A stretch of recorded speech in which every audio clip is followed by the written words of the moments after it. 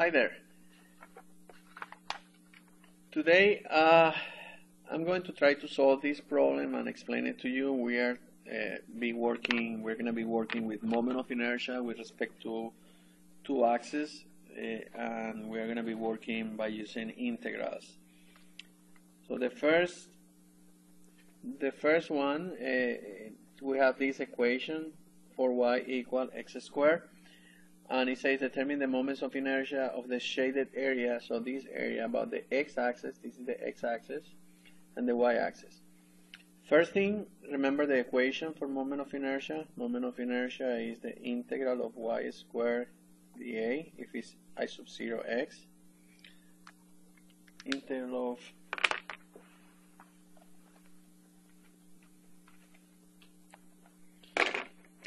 okay and for this uh, expression, if I'm going to use, I'm going to measure y, this is going to be my differential of area. This distance is dy, and this is my differential of area. Differential of area is the base, which is x times dy. So my differential of area is x times dy, and x is defined by this equation here. Let's see what happened with this focus. Yes, there you go. And x is, is defined by this equation. If I solve for x, x is going to be equal to the square root of 4y, which is equal to 2y to the 1 half.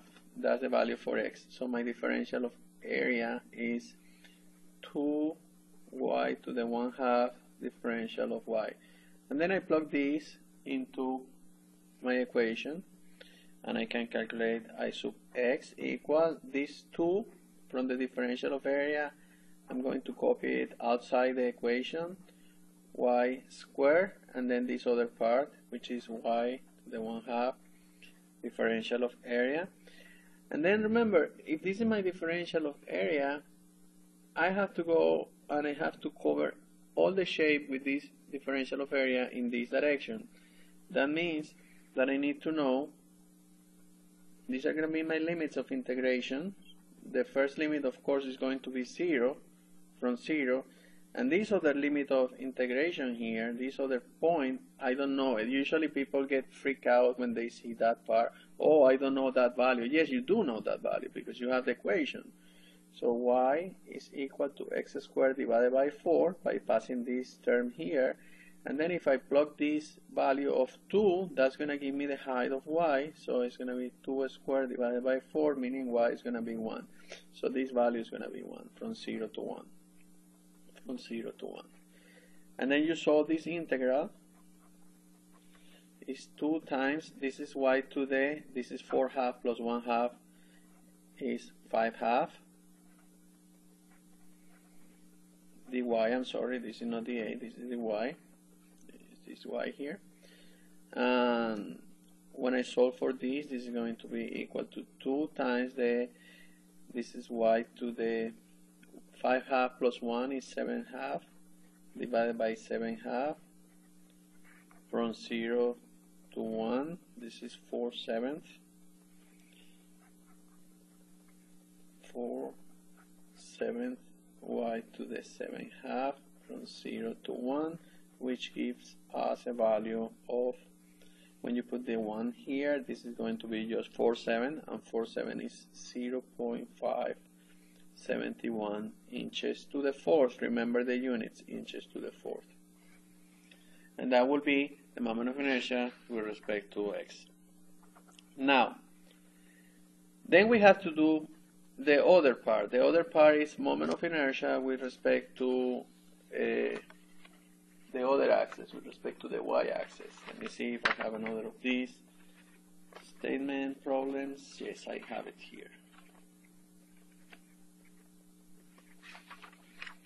Now, this is with respect to x. Now, let's do the moment of inertia with respect to y. Remember, we already calculated this value. This is 0 and this is 1. I sub y is going to be the integral of x squared dA. If I measure x, that means that I'm going to measure x in this direction. My differential of area, this is x, is going to be this one. This distance is dx, and this value is my differential of area, which is going to be dx times this value.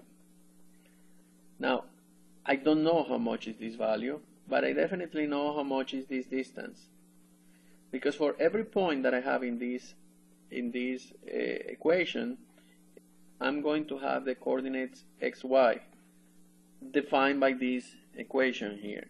So basically, if I know this height y, that y is going to be equal to x squared divided by 4 from this equation, and I know the total distance from here to here, which is 1.